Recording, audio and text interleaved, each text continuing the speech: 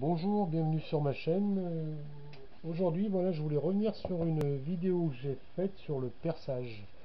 Alors j'ai un abonné, enfin je sais pas si c'est un abonné, qui m'a dit ah ben oui, euh, ton perçage euh, c'est facile quand on a une perceuse à colonne Bosch de faire des jolis trous.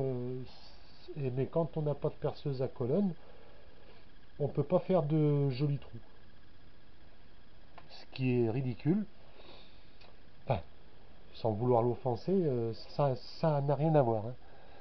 Donc là, moi j'ai pris une, vais faire un perçage donc à la main. Donc j'ai pris un forêt, comme on peut voir, il est tout rouillé, c'est un vieux forêt que je me sers même plus. Il y a une dent qui est un peu pétée là euh, au bout. Et c'est toujours le même principe. hein. Quand on fait un perçage à la main, le résultat doit être industriel. C'est-à-dire, il faut que ça soit nickel. Que votre perçage, quand vous mettez votre tourillon par exemple, ou autre chose, faut qu'il soit nickel, hein, qu'il n'y ait aucun éclatement. Pour ce faire, donc première opération, c'est le maintien de sa pièce. hein. Ça, c'est extrêmement important dans tout ce qu'on fait. Des fois, on pense gagner du temps en, en perçant comme ça, vite fait à la main. euh, c'est pas vrai. hein. Si la pièce bouge, le forêt bouge et, et la sanction est immédiate. Donc voilà, donc j'ai une perceuse, euh, enfin une visseuse perceuse banale, un forêt pourri, et quand on perce, eh ben, c'est pareil. hein. Donc vous avez un pic là, surtout pour le bois, hein, vous avez un pic, on vient piquer, et on vient percer. Et quand on perce, eh ben, on n'appuie pas dessus.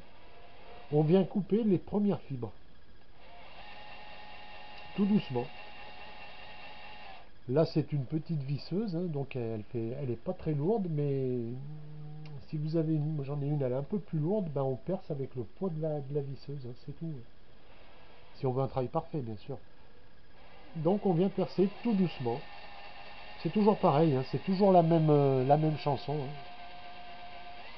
Donc on perce tout doucement, sans, sans appuyer euh, comme un burin. Alors là, c'est long, parce que le forêt il est pourri. hein, Mais déjà là, on peut voir qu'on a un perçage parfait. Là, je me suis enfoncé de 3 mm. Donc là, je continue à percer doucement jusqu'à temps qu'une bonne partie de, mon forêt soit, dans la, soit, dans le puits du, trou. Et donc j'y vais.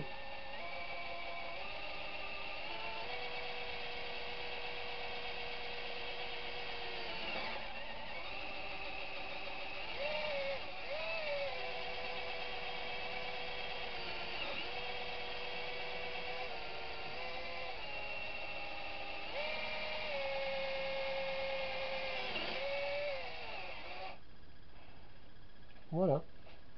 Il n'en faut pas plus. hein. Voilà, le trou est industriel. C'est un trou industriel, hein, il n'y a pas, hein, avec un forêt pourri, une euh, visseuse banale. euh, voilà, le forêt est industriel. Le forêt, le trou devient industriel, il n'y a pas besoin de penser ni rien. Là, si vous faites un chanfrein, il sera parfait. La vis, elle va venir se poser, euh, si vous deviez faire une vis, bien sûr. Toujours pareil, la lenteur. Il faut faire le culte euh, de la lenteur. C'est euh, tout. hein. Voilà. Là, il n'y a, a rien. hein. Je peux passer avec le doigt, je risque pas de m'accrocher le doigt. hein. Les premières fibres ont été coupées et, c'est bon. Maintenant, bien sûr, si, si on fait ça, déjà c'est un travail de, dégueulasse. Parce qu'en fait, vous ne coupez plus, vous arrachez la fibre. Et en fait, pour faire court, euh, le bois est constitué de, si vous le regardez euh, de face au microscope, c'est des, des tuyaux. hein. C'est des tuyaux qui conduisent la, la sève. hein. Si quand vous arrivez avec votre, euh, avec votre forêt, vous arrachez ça, bah forcément, euh, ça va se relever. hein. Donc voilà, maintenant on peut aller plus loin encore dans, dans la réflexion. Alors c'est pas la peine d'avoir une, une visseuse euh, turbo diesel euh, dernière génération avec le forêt en titane machin truc, hein, ça sert à rien. hein.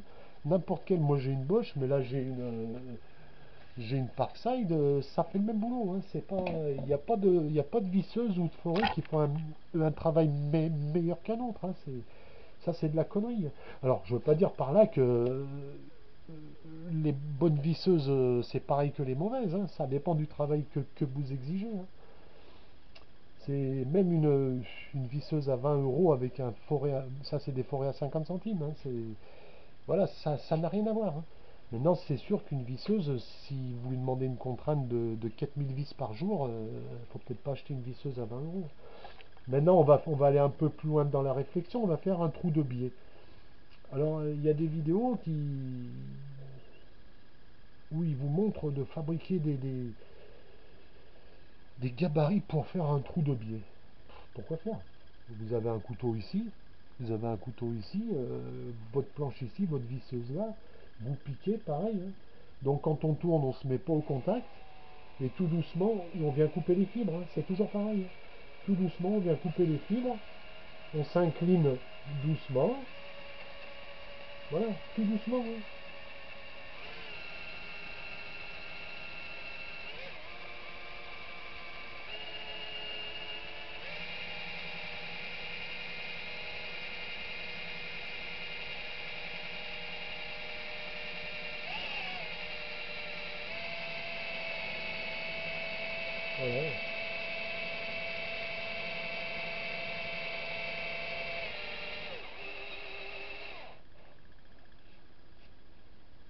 Un tout, euh, un tout petit truc ici, mais vous avez un trou de biais. C'est tout. Il n'y a pas besoin de gabarit particulier, de, de techniques euh, qui viennent du Moyen-Âge. Hein. Un forêt, un bout de bois, un trou. Hein, c'est voilà. Donc si on veut que ça soit traversant, eh ben, on, met un support en dessous pour pas éclater en dessous. Hein. C'est tout, hein. il n'y a pas de... Ah ben moi j'ai pas éclaté, du coup je, suis pas allé assez loin, mais enfin bon bref. on, l'aura compris. J'aurais dû percer un peu plus. C'est pas grave, je vais le faire. Donc là voilà, ce qui est important c'est de vraiment tenir son sa pièce. Alors on croit qu'on gagne du temps quand on, on voit souvent le mec qui la personne elle est là, elle perce en tenant son truc. J'ai même vu ça dans des. On gagne rien, on gagne rien du tout. Voilà. Et quand on reprend un trou, on reprend doucement, toujours doucement.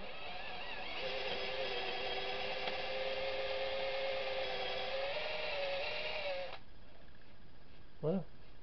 Votre trou est industriel. C'est tout. Il n'y a pas de... Le dessous, c'est du nickel. Il hein. n'y a pas. Hein. si je prends un...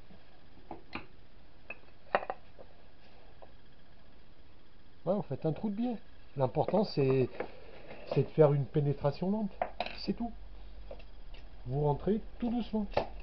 Il n'y a, pas de, a pas de secret, il n'y a pas de machine meilleure que d'autres. C'est pas vrai. C'est des conneries. Vous ayez une machine à 20 euros ou à 400 euros, c'est la même. Hein. Quand on sait travailler, euh, il n'y a pas. Maintenant, si je veux faire un trou de biais et je commence comme ça, euh, voilà. Hein. J'ai un graillon, euh, la sanction est immédiate. Hein. Voilà, ça éclate de partout, c'est dégueulasse et je suis pas pressé, je bricole. C'est un plaisir, donc autant je le fasse correctement. Voilà, j'ai un trou de biais, je peux filer un, un enfin un tourillon, je peux faire ce que je veux. Voilà, il n'y a pas de secret, il n'y a pas. Donc voilà, je répondais à cette petite euh, vidéo. C'est bien d'ailleurs le la comment dirais-je la la réflexion était justifiée, hein. Mais c'est pas parce que vous avez une perceuse à colonne high-tech que vous allez faire des beaux trous. Hein. C'est pour faire des beaux trous, hein, il faut vraiment y aller doucement, c'est tout. Là, vous allez venir au contact, à peine, à peine. On n'appuie pas. Voilà, vous coupez les premières fibres les premières fibres sont coupées, après vous coupez deuxième, troisième, enfin c'est pas deuxième, troisième, c'est microscopique, mais voilà, on vient couper la fibre. C'est tout. Ah, il n'y a même pas besoin de poncer derrière. Hein. Comme je dis, hein, on ponce avec ses empreintes. Hein. C'est tout. Voilà, et ben c'était une petite vidéo complémentaire pour cette personne. Je sais pas si c'est un abonné. Ben, si c'est pas un abonné, ben c'est tant pis, je l'aurais quand même fait. Allez, à bientôt.